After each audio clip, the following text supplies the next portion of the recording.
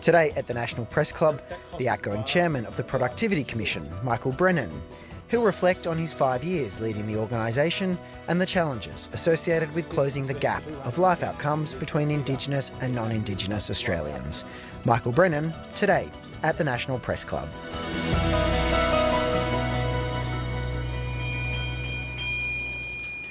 Good afternoon, ladies and gentlemen, and welcome to the National Press Club and the Westpac Address, coming to you from Ngunnawal and Ngambri Land, Canberra. My name is Laura Tingle, I'm the club's president. Productivity is back at the centre of the political debate, if it ever went away.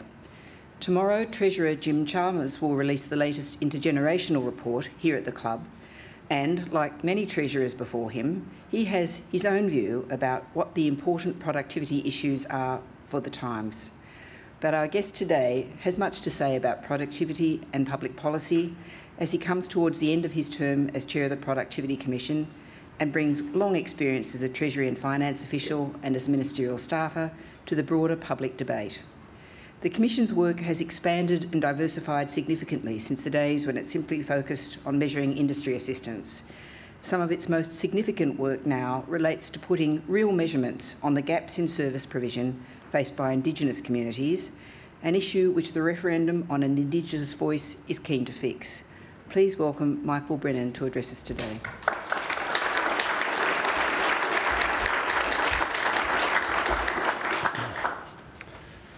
Well, thank you, Laura.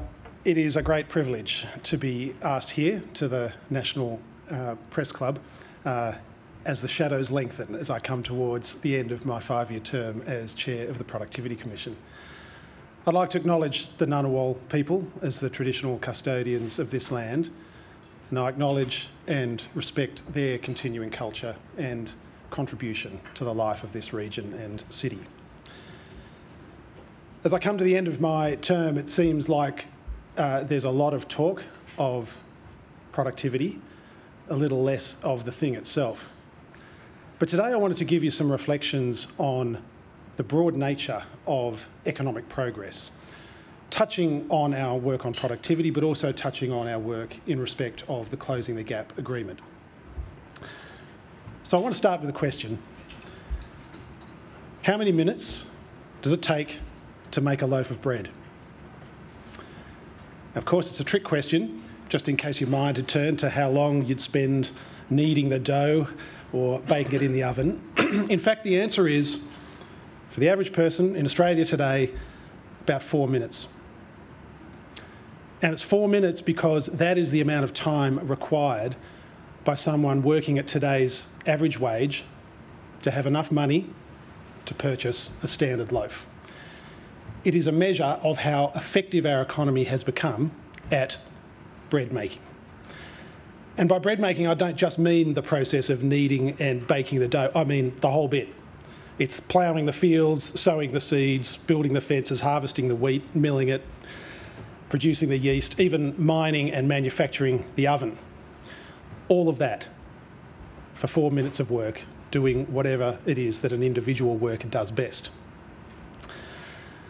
they can effectively command all those resources, have all of those processes coordinated on their behalf. Now, in contrast, in 1901, it took 18 minutes of the average worker's time to purchase a loaf of bread. Back then, agriculture employed 25% of the Australian workforce. Today, it's around 5%. But wheat production's gone from 1 million tonnes to 25 million tonnes. So each tonne of wheat is produced with less land and vastly less labour. And that is a story of replacing human labour with machinery, the horses with tractors, and the application of all sorts of science, crop types, pesticides, fertilisers, etc.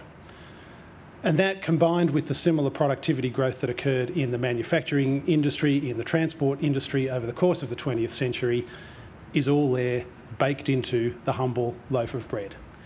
And that is productivity.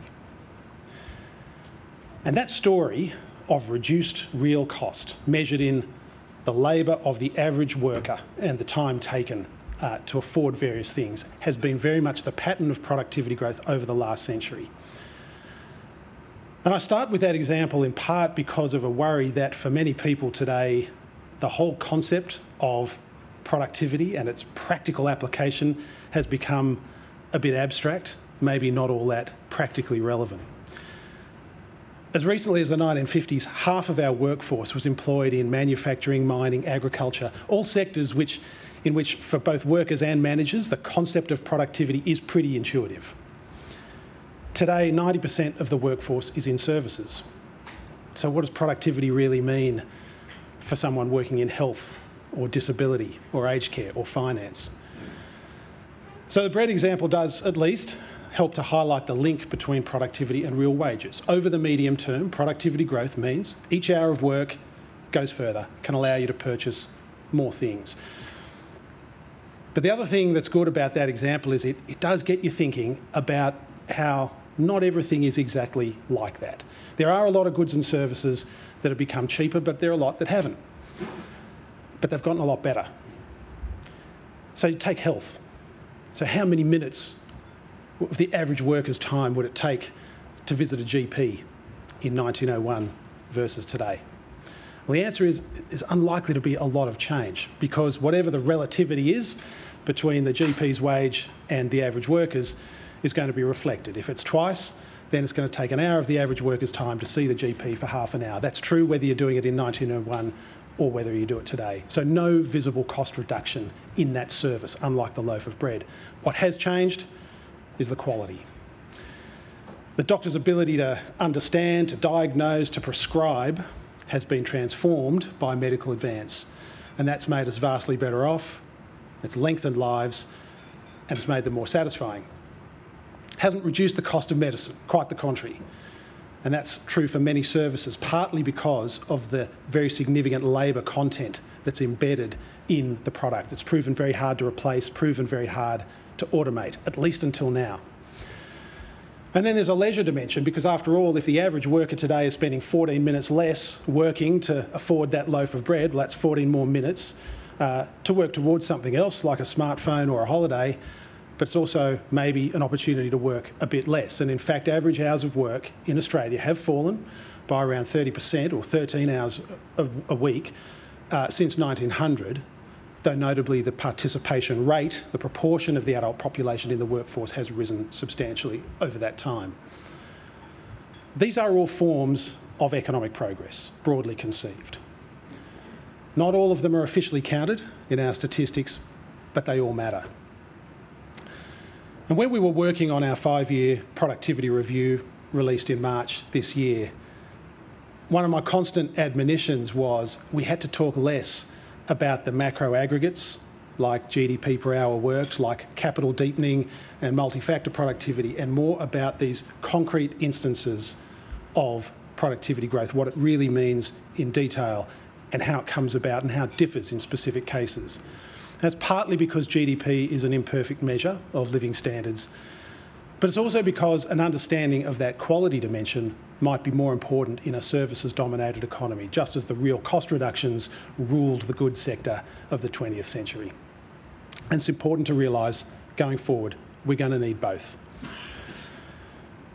The other challenge is that talking about a smooth overall annual productivity growth rate can obscure a bigger reality. Productivity growth is not smooth. It's rarely evenly distributed and it's never predictable. There is, for example, the remarkable fact that pretty much all of the improvement in living standards over the last 10,000 years of human history took place in roughly the last 200, the period since the early 1800s, in the proverbial blink of an eye in historical terms, and only in certain countries, something about which economists have been remarkably incurious. And it's lumpy and it's uneven. Productivity growth always consists of a series of technological waves, new technologies, new business innovations that come along. They're almost always characterised by that S curve shape. The take up of a new invention starts slowly and then it accelerates rapidly and then eventually it plateaus. So, as one example, I'll give you is the motor car. So, in 1900, the average Australian travelled 2,500 kilometres per year, roughly 40% of that by mass transit, 40% walking and cycling, about 20% uh, by horse. Rise of the motor car followed that S curve. Started slowly, then it accelerated rapidly in the years post the Second World War. By the 1990s, it had replaced all but 15% of all other modes of land transport. More to the point, over that period, the average Australian went from travelling 2,500 kilometres per year to travelling over 13,000 kilometres per year. So, what happened is the car unleashed a revolution in mobility. It spawned new suburbs, it, factories on the urban fringe, the big cost reductions in freight and logistics, with a big productivity dividend attached. and then, in the last 20 years, just plateaued. We're no more mobile today than we were in the late 1990s, and the cost of moving people and goods around stopped falling. Urban congestion's gotten worse. So the quest now turns to new sources of productivity, new sources of cost reduction and supply side growth. And as it happens, the cost of moving information has fallen dramatically in the last 30 years, which spawns new models like online commerce, like telehealth, like remote work.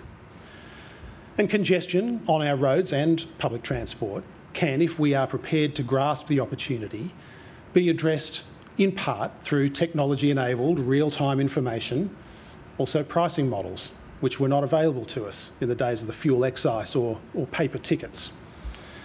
The point is, a successful economy is one that catches those successive waves, that can be moved from one transformational source of productivity growth to the next.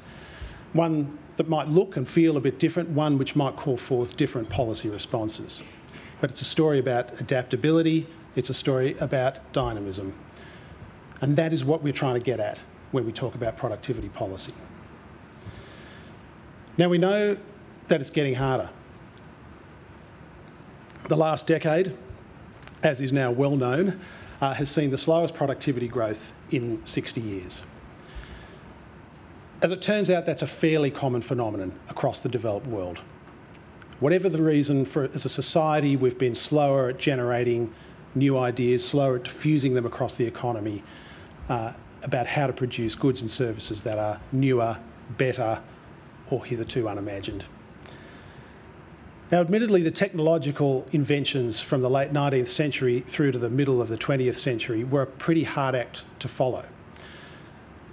As the American economist Robert Gordon put it, those inventions replaced the unremitting daily grind of painful manual labour and household drudgery, darkness, isolation, and early death with safer jobs in air conditioned environments, electric appliances which could perform household tasks, electric light at the flick of a switch, and isolation replaced by the telephone, the colour TV, fast travel, and of course average life expectancy, which went from about 45 to over 70.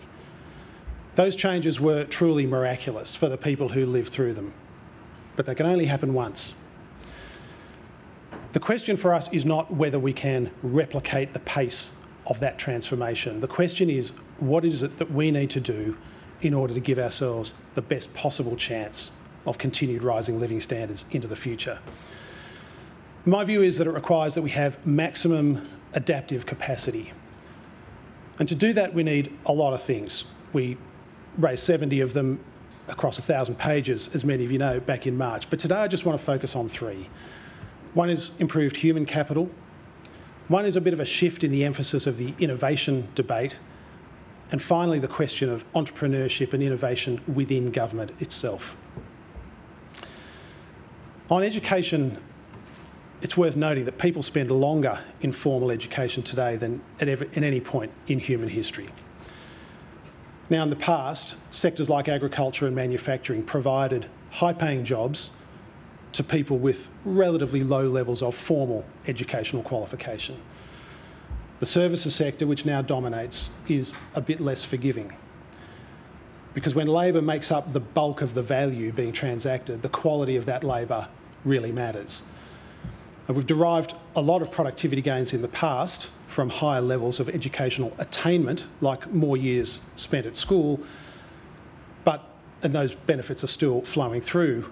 But like everything else, they too plateau. They get to the top of the S curve and they start to level off.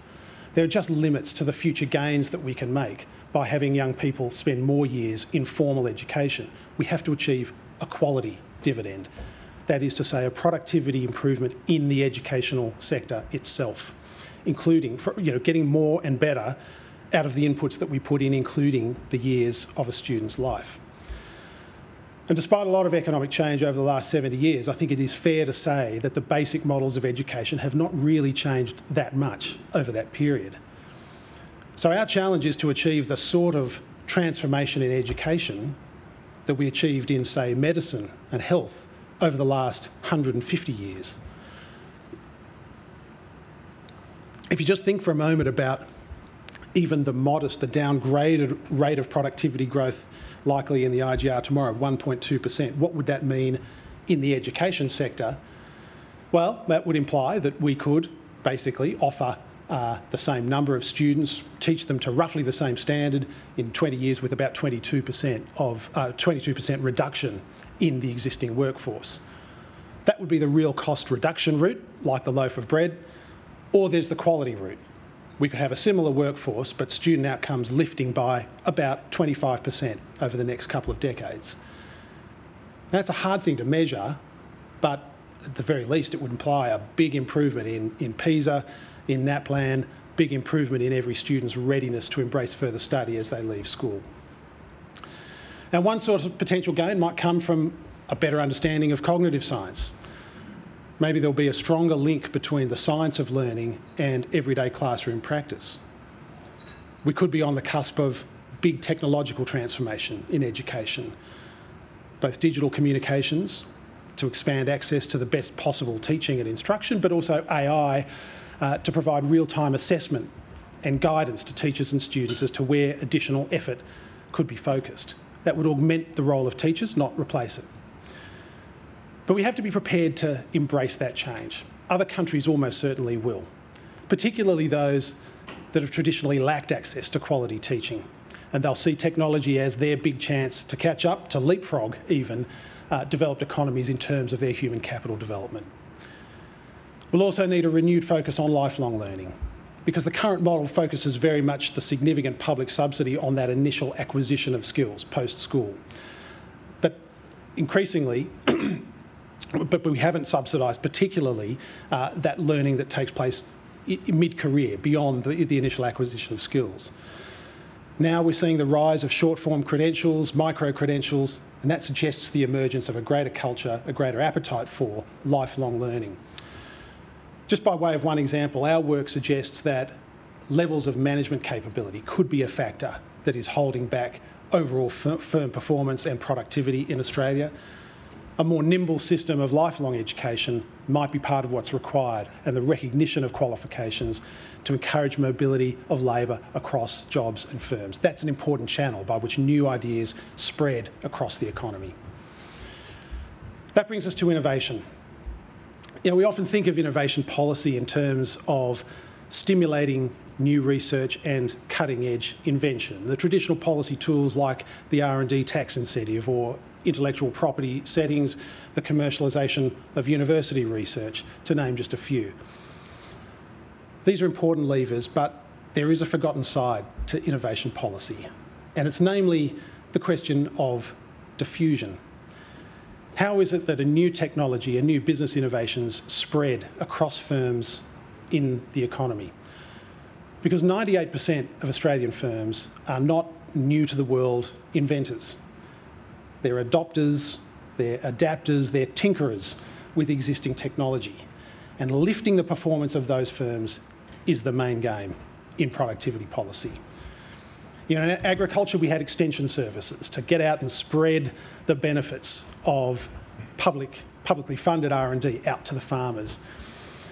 I don't think we've really addressed the question of what the innovation ecosystem looks like in a service-dominated economy.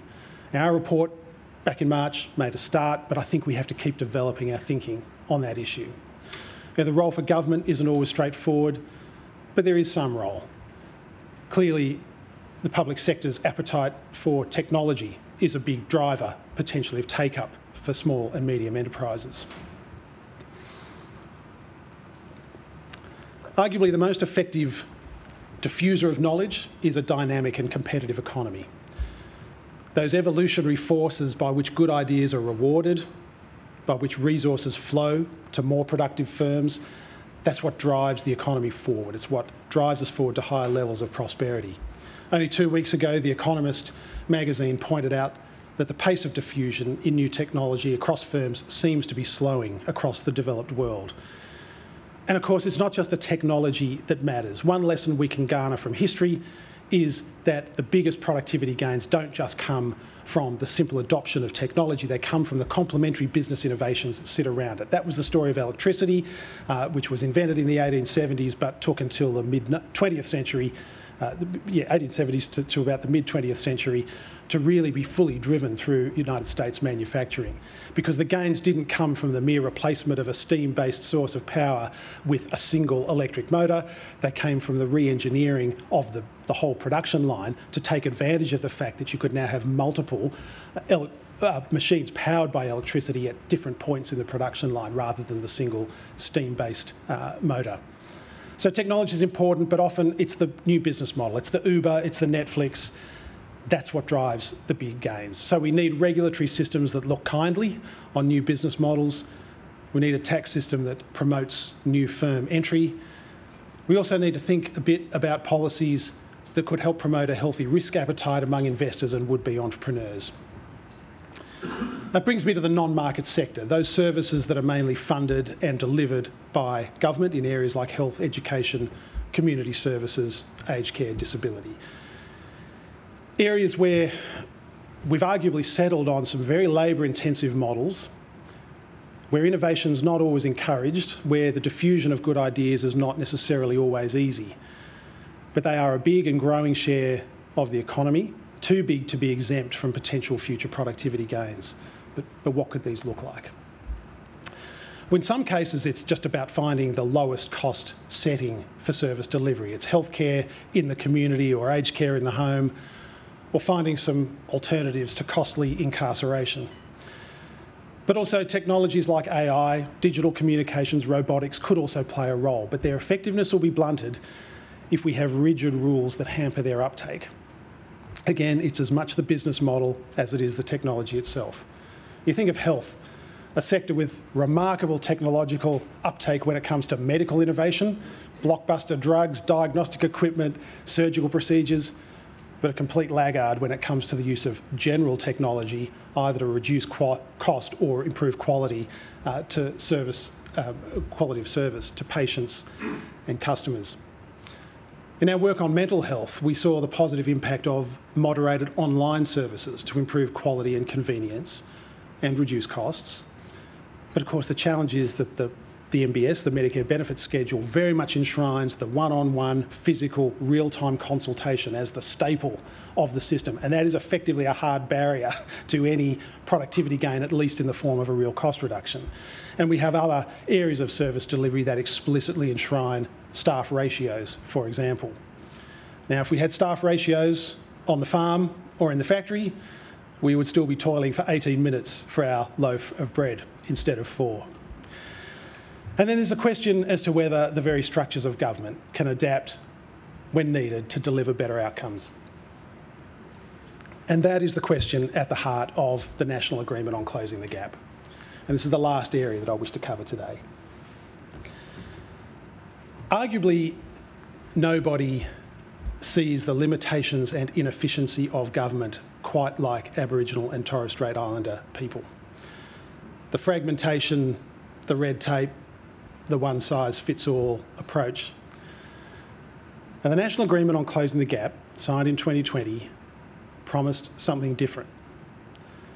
it has two key features. The first, it was explicitly an agreement between all governments, state and federal, and a coalition of peak Aboriginal and Torres Strait Islander organisations.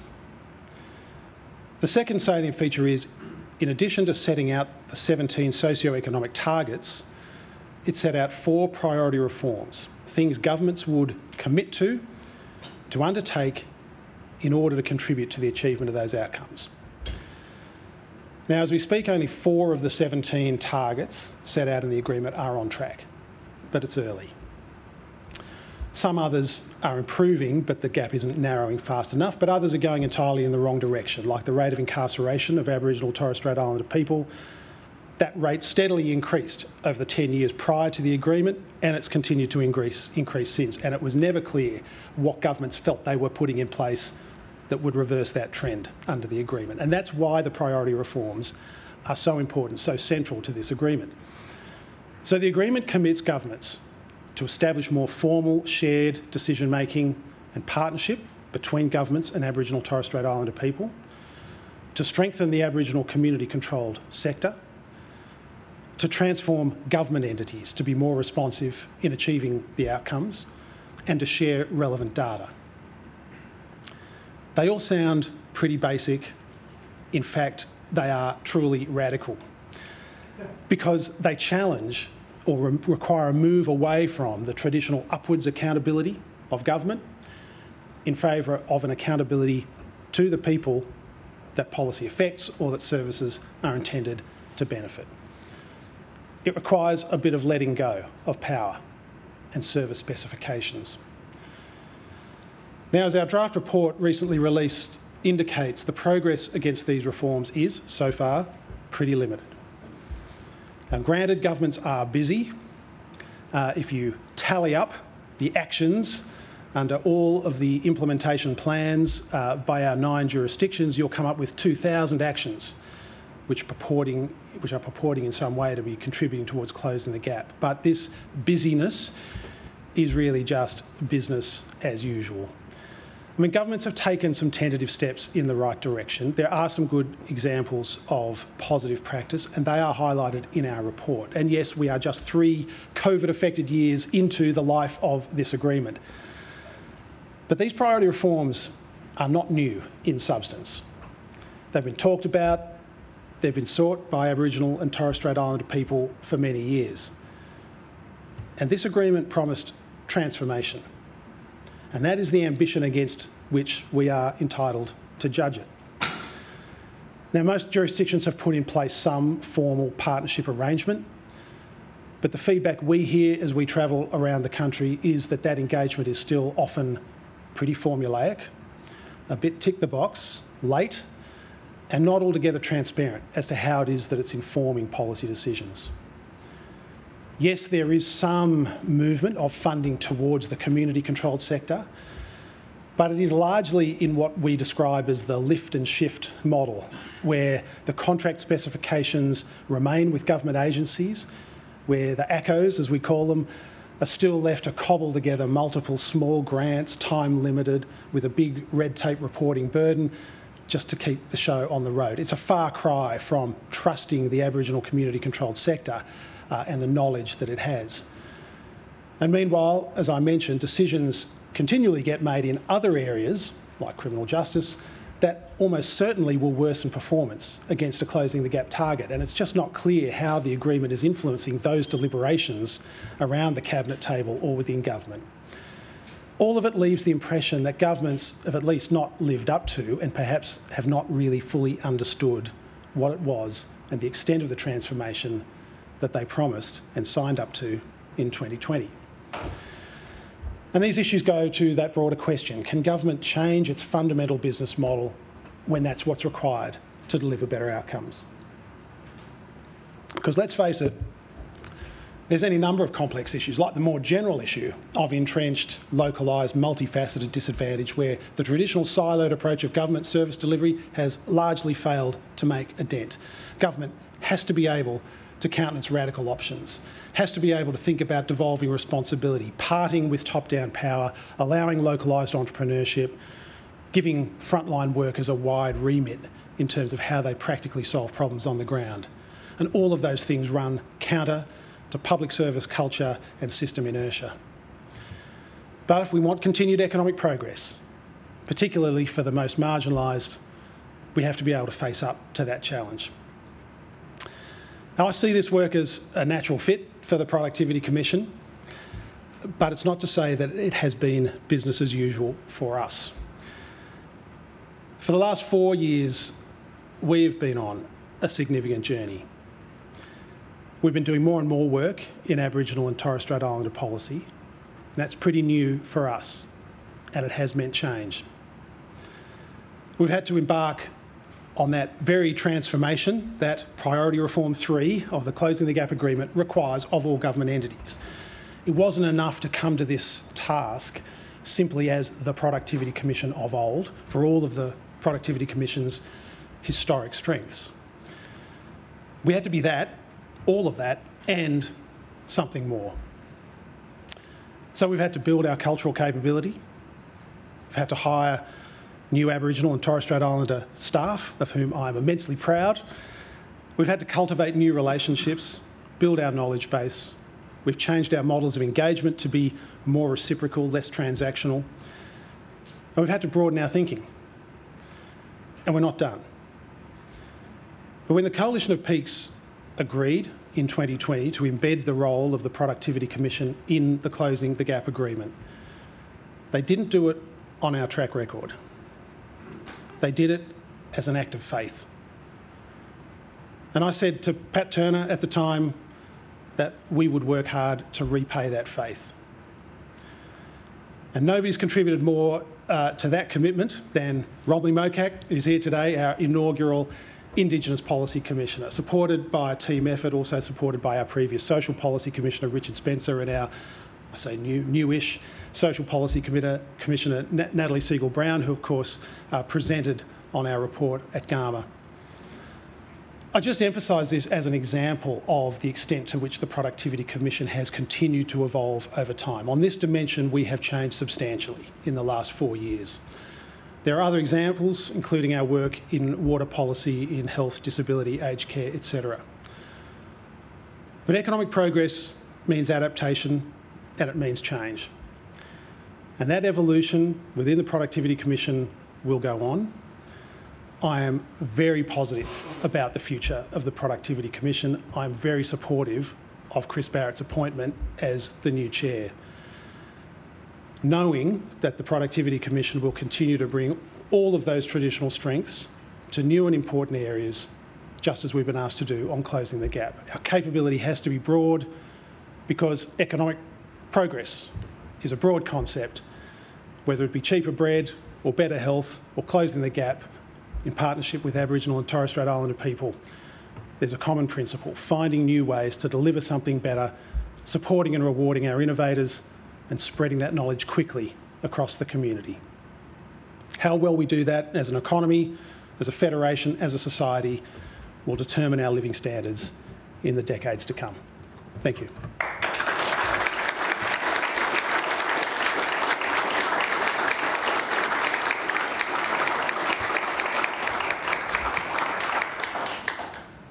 Thanks so much, Michael. Um, uh, lots of really interesting things to pursue, and I'll, I'll, try not to be greedy and take them all. Um, but one point, um, you talk about the fact that governments have basically just been doing business as usual, um, and about the Productivity Commission itself having to transform the way it's approached all of the uh, Indigenous issues.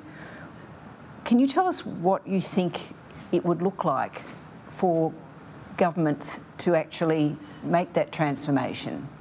You know, uh, and put, put, how you know if you're a bureaucrat, what what would you be doing? I mean, would there be things like some sort of system of um, sort of uh, marking up uh, existing Indigenous organisations to give them some uh, sort of uh, sort of credibility with bureaucrats, so that you could get over that sort of issue? I mean, what, how would it work? So I think it's a range of things, some of which go to those things which are concrete and identifiable. And Priority Reform 3 actually lists out a number of things that governments are committed to do to uh, develop cu- cultural capability, address institutional racism, etc. So there is some guidance there. Uh, and some of it is amenable to those, you know, it is about training and it is about awareness and, and these sorts of things. But it, it, it can't be just that. There, at the end of the day, there has to be some capacity to kind of look holistically at how is an institution performing does it look fundamentally different to what it looks like before? And I can only think about our own example. There are a number of intangible ways in which the sorts of conversations we have around the commission table, among staff, not just on projects like Closing the Gap, but of projects across the board, just manifest completely differently to the way they did even four or five years ago. There's an awareness, a sensitivity, and tools of engagement, if you like, that, are, that just look different. So I, I think it, it is that combination of observable things, uh, a bit of a sense of the intangible. There does have to be an accountability mechanism. Uh, it's hard for agencies to judge their own performance. I'm judging ours at the moment, but we, you need to be prepared to subject yourself to some external judgment.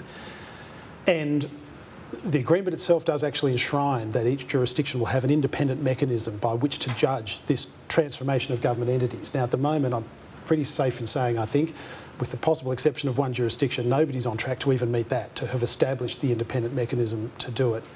So we see that as an important priority.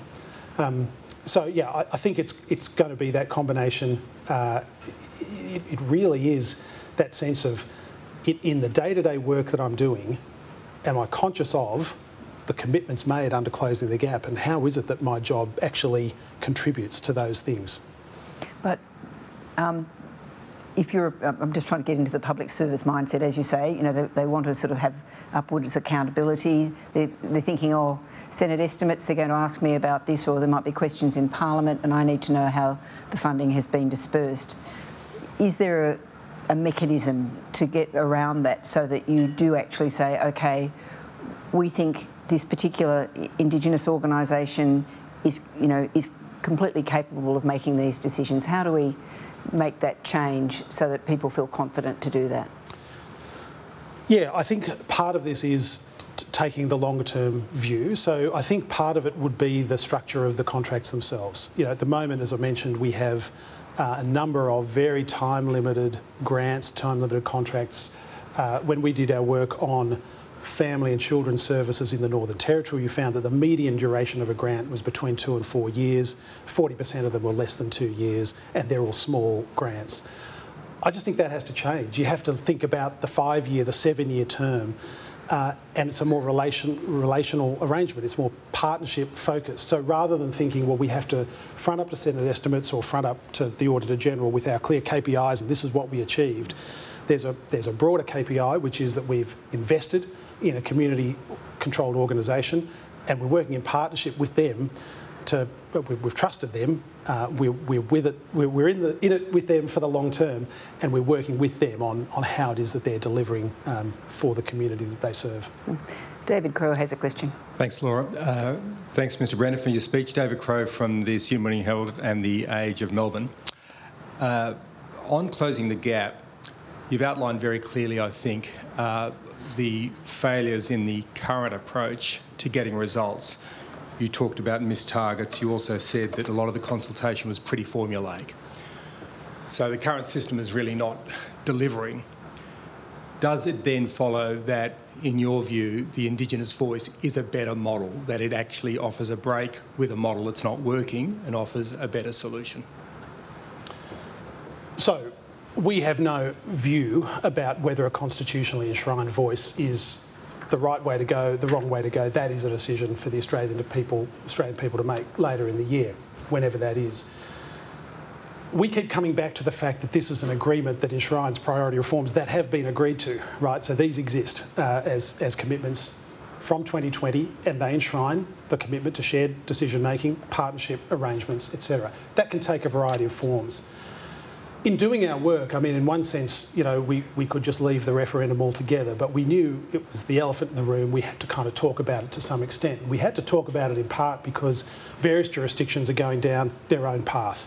There's the prospect of a legislative uh, voice or legislated voice in South Australia. There's treaty and truth telling processes in other states all we really say about it is um, those mechanisms, to the extent that they come into being, they can work well within the closing the gap architecture. That might make a lot of sense. But equally, if, if they don't, and if there's not a legislated, or sorry, not a constitutional voice at the federal level, uh, then you need other mechanisms. And the agreement enshrines various mechanisms. by the time of our final report, the referendum will have happened. So we'll, we'll know, uh, you know, how to go forward on that. I will just make one other observation, which is um, we think that there is a very important role for this agreement. So notwithstanding that you know, there are other issues, including the voice, that are the subject of a lot of public debate now, the virtue of this agreement is that it has a very strong focus on outcomes. It identifies 17 of them. It has a strict reporting regime. There's strong accountability. There's annual reporting by jurisdictions. There's the three yearly review that we undertake, partnered up with an Indigenous led review. Those things are all important, and there is even some risk that for those jurisdictions that have gone forward with treaty, truth telling, other things, uh, that there's a bit of a sense of we've sort of all moved beyond closing the gap. I think that would be a big mistake. I think there's great importance in maintaining the architecture of that 2020 agreement. Do you mind if I ask a follow-up? The Australian people are watching, you know, this debate, uh, and they really only have one decision. It's a yes or no. The job of the Productivity Commission is to advise governments on the best path forward, in a, in a sense through that to advise the Australian people. So shouldn't the Productivity Commission have a view on the voice? The Australian people only have that yes or no that they can cast a vote on. They can, sure, they can vote for a government at the next election, but that's their only decision. Shouldn't you be able to help them make that decision with some advice on whether the voice is a better way? The role of the Productivity Commission is embedded in the closing the gap agreement. It is to, to undertake a review of progress under that agreement, and that's what we've done. Uh, as for advising the people on their vote in a constitutional referendum, it's not really our bag. Thanks. Jo, Joe Kelly. Uh, Joe Kelly with The Australian, Mr Brennan. Um, you've talked about the need for governments to be more adaptive, change their business model when required to deliver better outcomes. And you talked about education specifically in a transformation in education, a greater focus on quality. We had the NAPLAN results today, and they're very poor. They show that uh, students are now twice as likely to fail than to excel, despite record spending of $72 billion on schools last year. What's going wrong at the moment with the education system, despite these record amounts of money being pumped into the system? We're still not getting the results that we need. How do we fix that? Well, I think to some extent it is some of the things that I've talked about today. Admittedly, some of these things are a bit over the horizon. But when we looked at our report on the National Schools Reform Agreement, uh, which was really to inform all jurisdictions as they think about uh, sort of effectively agreeing a successor compact uh, to that agreement. We looked at a few things. I mean, one of the challenges I think in school education in Australia is that we have uh, a national curriculum, which is pretty broad. We have a lot of classroom practice. We have 300,000 teachers or thereabouts, two to 300,000. Uh, it's a mass profession. We are putting a lot of burden on our teachers to effectively translate this high level national curriculum into daily lesson plans, and it's probably pretty inefficient, um, both in terms of the use of teachers' time, and, and time and again we see this coming back, uh, the strain on teacher time, the sense that too much time is being taken away from what they do best, which is classroom practice. Uh, and it does seem to us, and as it seemed to many other commentators, that there's probably a role for uh, the new architecture that we've got around the Australian Education uh, Research Organisation, AERO, to provide more in the way of detailed, evidence based support to teachers as to what they can be doing on a, on a daily basis. Uh, so, that kind of uh, evidence based pedagogical advice, um, just basically providing a higher quality classroom experience, is, is a critical piece, I think.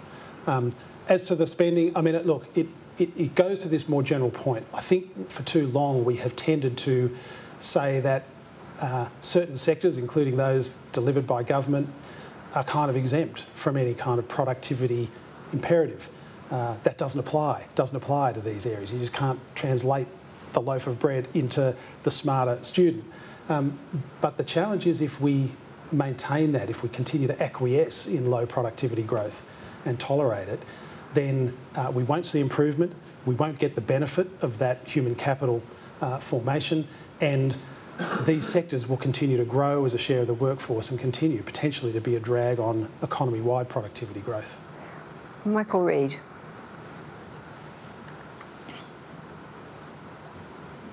Uh, Michael Read from the Australian Financial Review. Um, the government has effectively ruled out sweeping tax reform like raising the GST or um, lowering personal and company tax rates. Uh, to what extent do you think the current tax system is acting on a handbrake on productivity? Look, I think changes to tax will always be a significant lever. Uh, we talked about it a bit in the productivity review. We didn't want to reinvent the Henry report because I think it stands the test of time as the kind of Bible on the directions that tax reform ought to go. We did countenance a few options that government might have around corporate tax reform, that sort of thing. So yes, tax is important. The tax debate is very important. The one observation, I'll make two observations, uh, Henry notwithstanding, uh, when we've seen successful efforts at tax reform in Australia in the past, most recently in the early 2000s, it had a long build up and there was a, a lengthy process of intellectual consensus building that led to it. So when you think about the introduction of a broad-based indirect tax, the GST, that really started with the Asprey Review in the 1970s uh, had option C uh, in the 1980s, fight back in the early 90s, and eventually, you know, you got it, it, saw the light of day in the late 1990s, early 2000s. And you need that sort of intellectual preparation, that tilling of the soil. Uh, now, I think Henry was a really good example of that, but I think we've got to rebuild a bit of that intellectual consensus about what is it that we're trying to achieve in, in tax reform going forward. The other element that was significant in driving the success of tax reform in the late 90s and early 2000s, you may recall, was a significant stakeholder coalition involving both the business community but also ACOSS, who came to the table out of a concern that the revenue base was withering and tax reform was important to shore it up. Uh, and that helped to kind of propel the debate forward. And I just say that because it's sometimes, I think, a little unfair to throw all this back on government and say, well, why aren't you out there leading a debate? Why aren't you out there taking grand political risks?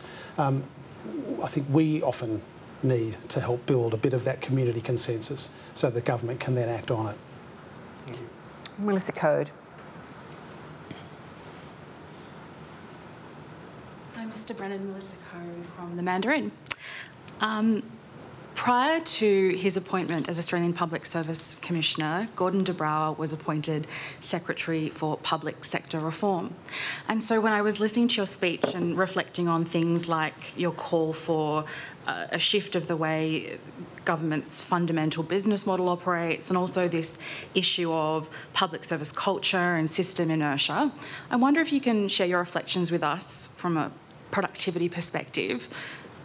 Why it is or isn't good to sort of reframe uh, the wider public's regard of the public service as more of a public sector ecosystem, which involves more than just the government agencies and institutions and the capability inside that you've been referring to. Um, and maybe also with a reference to your time in the private sector working for PwC. No, you had to mention that. Yeah, I mean, look, I, I think we are in Australia incredibly fortunate to have, and I, this is a health warning, this is a completely self-serving reflection, but to have a very high quality public sector. I think the quality of our policymakers, uh, state and federal, is uh, is very, very strong, right? Whether that's the community view or not, I, I, I couldn't speculate, but that's my experience of it. Um, and I think, to be honest, it's the experience of a lot of senior private sector people when they come into contact with government, particularly in the course of a crisis like the GFC, uh, when senior bankers for the first time you know, dealt with Treasury officials around how we were going to kind of, um, you know, rescue the world. Uh, it, it just becomes very evident that you're dealing with some very smart and very well, in, you know, deeply motivated and committed people. Um, and that is the public sector that, that we've got. So we're very fortunate in that respect.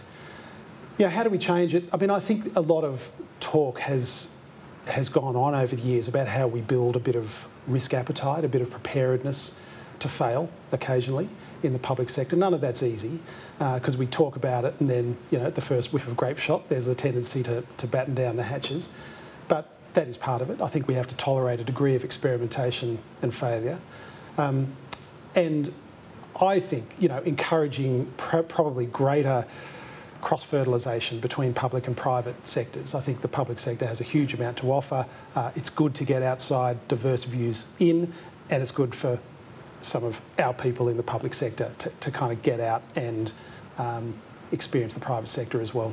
Do you have any sort of high level views on how that accountability piece you've been talking about works when we become a more hybrid ecosystem? Oh, I'd have to give it a bit of thought. I mean, I think the accountability mechanisms we have are pretty robust. Um, federally, Senate estimates, Auditors General, uh, Productivity Commission reports. You know, we have a lot of institutional architecture that keeps government honest uh, and contributes to a debate that's conducted in the public domain. I think that the fact that we have independent entities, the fact that they have transparent processes, uh, that they put out reports, stimulate debate, I think that's a big part of it, to be honest. Ben Westcott. Hello, Ben Westcott from Bloomberg. Thank you so much for your speech, Michael. Um, Australia is not alone in having a productivity problem. In fact, uh, many countries around the world have got similar issues, uh, and I know that's the view of some in government as well. Uh, in your view, um, to what extent is our productivity problem something that just is something Western economies are facing, and to what extent is it something that we individually can fix?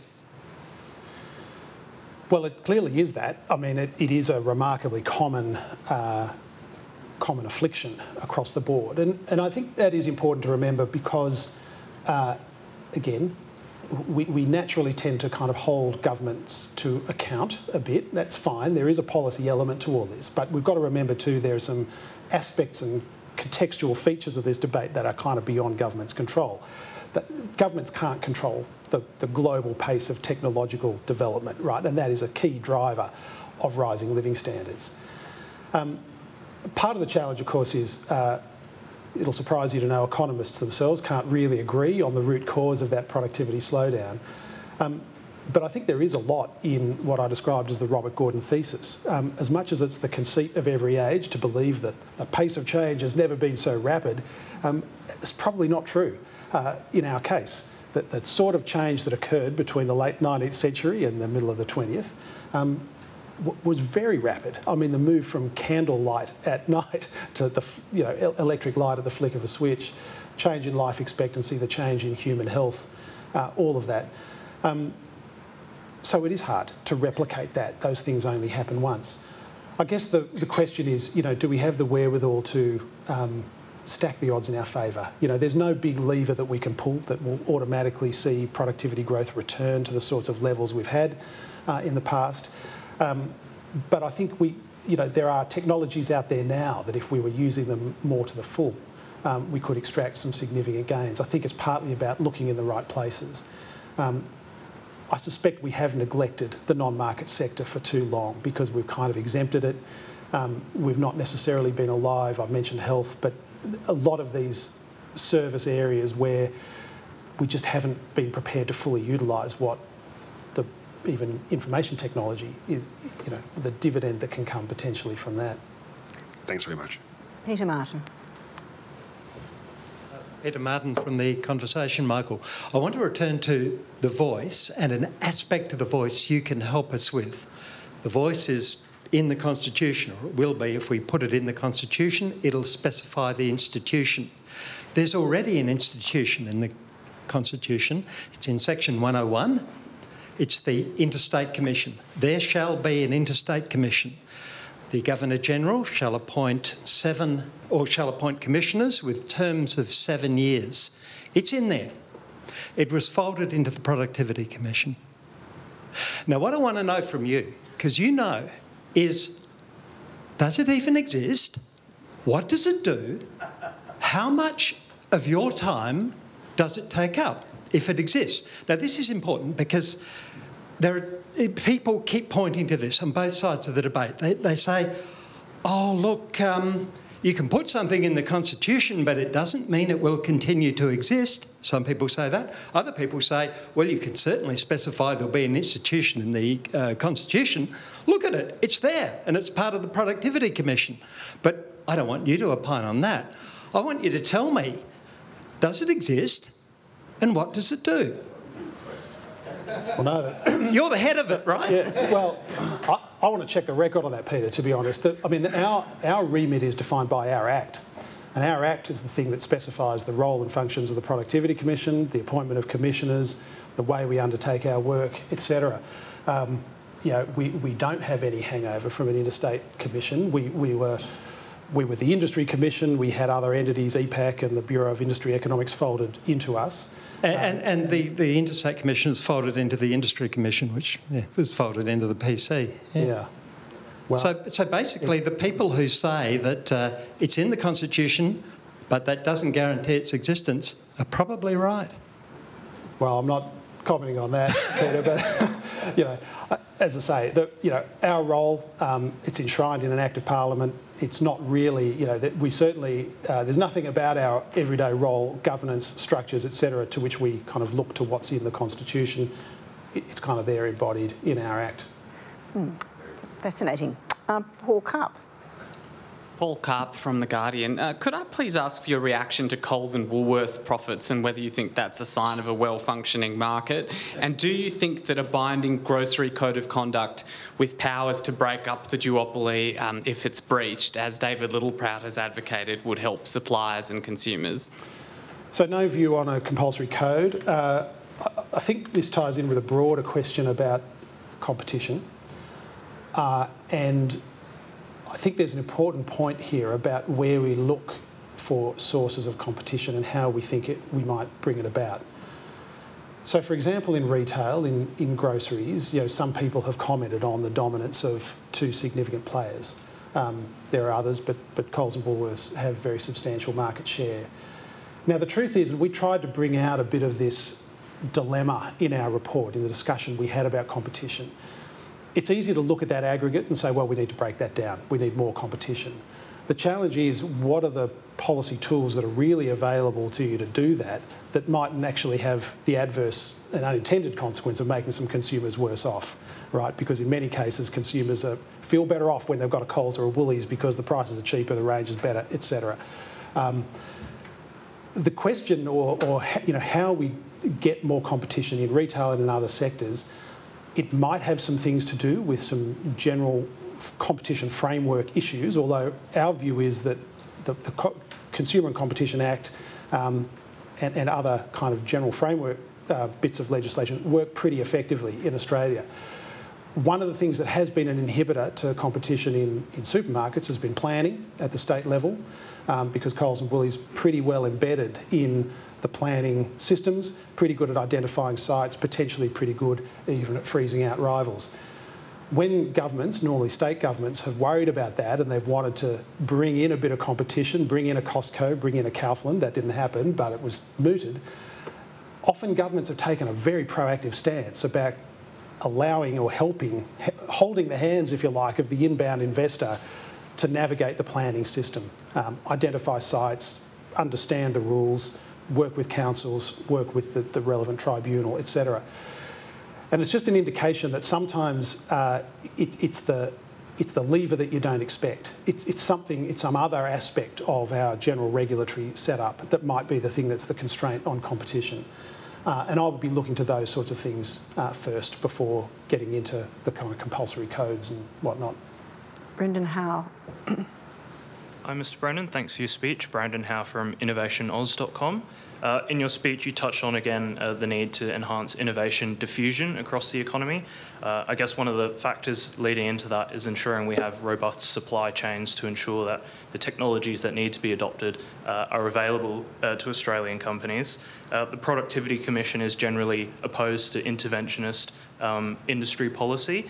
Um, what, what do you think is, would be the best way for technologies uh, to be made readily available for Australian firms. And I suppose just on that, um, given interventionist industry policy is growing more popular around the world in, in the US and in the EU, uh, why shouldn't Australia start considering it more? Mm. Well, I think Australia is considering it more, uh, but the, I think the question on that is not. Uh, it's effectively to avoid the extremes of either having your head in the sand or losing your head altogether. The world has changed, there's no question. Uh, it, there's a few big forces, three that I can think of. Uh, there is concern over supply chain issues and, and, and the security of supply chains, largely post COVID, but a bit before.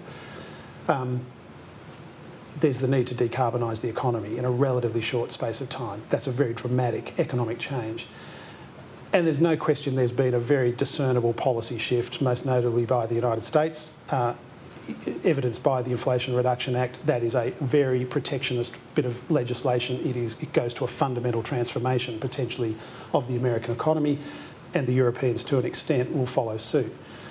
So the question isn't, you know, should we kind of uh, stick to a doctrinaire line that says no, never ever. It's not that at all. It's really just having a hard-headed assessment about what is, you know, and hyper-rational assessment about what is it that Australia ought to be doing in light of that. How does Australia maximise the opportunities, minimise the threats? Um, and we're just a contributor to that debate. I think it's very important that there be a thoughtful and considered debate about those things. My concerns about industry policy are not you know, that, that, you should never ever do it or, or whatever. It, it's just a handful of sort of cautionary things, some of which I've, I've mentioned publicly. I mean, one is that uh, I think there is a tendency in the industry policy debate to say, uh, we get that it's been problematic in the past, but this time is different. And I, and I think you have to be a little bit careful about that thing too, as I flagged uh, earlier in the week, and, and, it was reported in the AFR, there is a bit of a tendency in the industry policy debate to grab hold of the most exciting new venture, the most exciting new sector that's on the horizon. Often that's the very sector where the real price, that bit of the value chain, the real price is about to fall dramatically. That's been the experience with, you know, um, computer hardware, etc. Um, it's not always clear that it's a really good bet for, for a country to adopt unless you're going to be the very best at it. The third thing is that I think we conceptualise the economy a bit wrongly when we just think about the fiscal dollars that we want to put into industry policy or the size of this or that fund. Just think of the economy from the supply side. The economy is a bundle of resources. It's people, uh, it's technological know-how, it's capital, it's materials, etc if you say you, you want more of something, you want to create a new industry, you think we need to be more active in you know, this over here, you've got to remember that, for example, the people who are going to work in that sector, um, they're already doing something. And you've got to be absolutely sure that this is a higher value use of their labour than whatever it is that they're doing. And to some extent, I think it behoves the advocates to say, well, what is it that you want us to be doing less of? What are the industries that should shrink? Um, I, I look at it and I think, you know, that it, it is right that we have a debate. It's right that we think very hard about what the IRA means for us. I find it difficult to come to the conclusion that the main logical and rational response to the IRA going on in the United States is that Australia should have a higher relative share of its economy in manufacturing. That just doesn't seem to compute to me. Um, but that's not to say that there aren't mechanisms or, or instances where early stage minerals processing, etc., uh, where a bit of proactive industry policy um, can't help. Thank you. I'm going to squash in a few more questions. I hope Tim Shaw. Thank you, Laura. Tim Shaw, Director of the Press Club. Uh, it appears the Productivity Commission was asked by government back in 2013 to comment about um, the regulators' uh, role with small business. 41% of Australians work in small business. Their cost of operation have gone sky high. Many nearly collapsed during the COVID period. Um, can you update us on what role, particularly with you as Commissioner, you've engaged in regard to small business? And if it hasn't been since 2013, what should the Commission be doing to re engage with small business, particularly in light of the new Albanese government's election? So we engage with small business quite a lot. We, we, it's a while since we've had a terms of reference that specifically go to small business, but pretty much all of our work has us dealing with small business. There's always going to be a small business angle. The productivity uh, inquiry, for example. Mm. Um, in many ways, that's the sort of underpinning or motivation of the observation I made about innovation.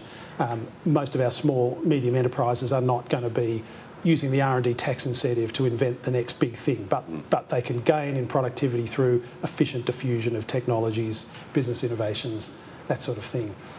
Look, I think that the challenge on regulation is um, it, it's, it's always there because businesses will complain about compliance burden and over-regulation. Over-regulation, and it's real. Um, the, the, challenge has always been, as anybody who's ever under, undertaken or overseen a red tape reduction process, businesses better at complaining about reg uh, burden in the abstract than they are at identifying the specific regulations that they think could be eased. I think technology is a game changer. And I, I do, I come back to tax reform. You remember in 2000, one of the biggest issues about the introduction of the GST was the business activity statement and the headache of, you know, the small business person, you know, sitting at the kitchen table filling out the forms. Um, tax compliance has been revolutionised, right, by digital technology and the fact that you've got your MYOBs, the Xeros, you know, interfacing with the ATO system um, actually providing good information back to the business owner. Mm. And I think that's a model of the sort of role that technology could play, both in easing compliance burden, but also effectively helping to diffuse good practice across the economy. Thank you.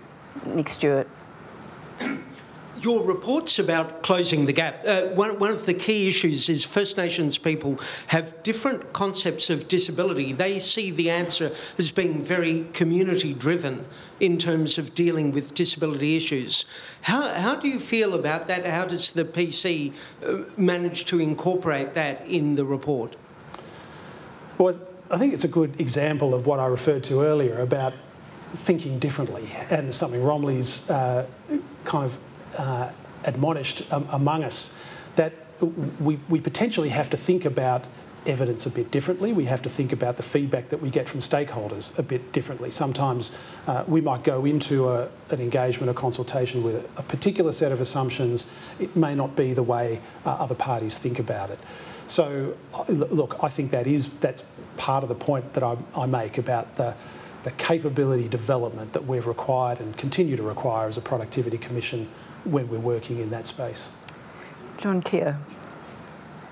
Thanks, Michael, for your speech. Um, I think we can all agree that competition would be good for productivity, lowering prices, that sort of thing. Um, the government's announced competition policy framework changes potentially today. The ACCC has been pushing to make it tougher for big companies to merge and corporate consolidation. The, the, shifting the dial report's a little bit more circumspect, specifically on toughening up the merger laws, pointing that mergers can actually help clean up inefficient, unproductive companies.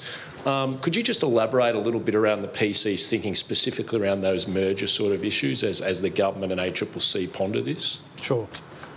And I think, John, by shifting the dial, you mean advancing prosperity. Ah, You've got absolutely, to get the, get yes. Five years too, uh, too late. Yeah. Uh, shifting the dial is probably circumspect too. So it's, it's absolutely right what you say. The, um, and this is not to be critical of what is proposed in respect of, of mergers. I think there is potential worthwhile reform there. Stephen King, one of our commissioners, um, has, has a, a, vast knowledge of these sorts of things, and you know I think he's pretty pretty positive about some of the things that are being talked about. I guess the issue is it's exactly as you say. There, there's a dilemma in these things, right? Um, a merger can, on the one hand, lessen competition, and that could create concentration, which could go to kind of you know, hampering that diffusion of good ideas across the economy. Maybe there's less innovation once you've got a whole lot of dominant players. Equally, um, you, you, don't want to artificially prolong the life of an underperforming firm if the, you know that's not going to be good for productivity. If you're standing in the way of a whole lot of resources potentially flowing to a more productive use. So I think it just, you know, our CCA tries to grapple with that reality. I think you can tweak it. I think you can continue to kind of make sure that those trade offs are being thought about hard. Um, but it does. It, it, does defy an easy answer. It's not like you know, you, you, you know, we, we, should sort of crack down heavily on every possible merger because there will be mergers that are productivity enhancing, and that and that's the point we make. There's a similar point about the role of um, large entities, including um, large tech companies, that want to you know, engage in a bit of horizontal expansion, right? Get into a new business. Well, again, on the one hand, are we worried about the behemoths and, and how big they get? Well, maybe. Um, but what if in an economy like Australia's, that's the source of competition that, that we can get? Uh, so I think in all of these cases, they're trade-offs, they're at the margin, um, and, and they're not necessarily simple answers. Um, on that note, we'll have to wrap up, but um, please thank Michael Brennan for his time today.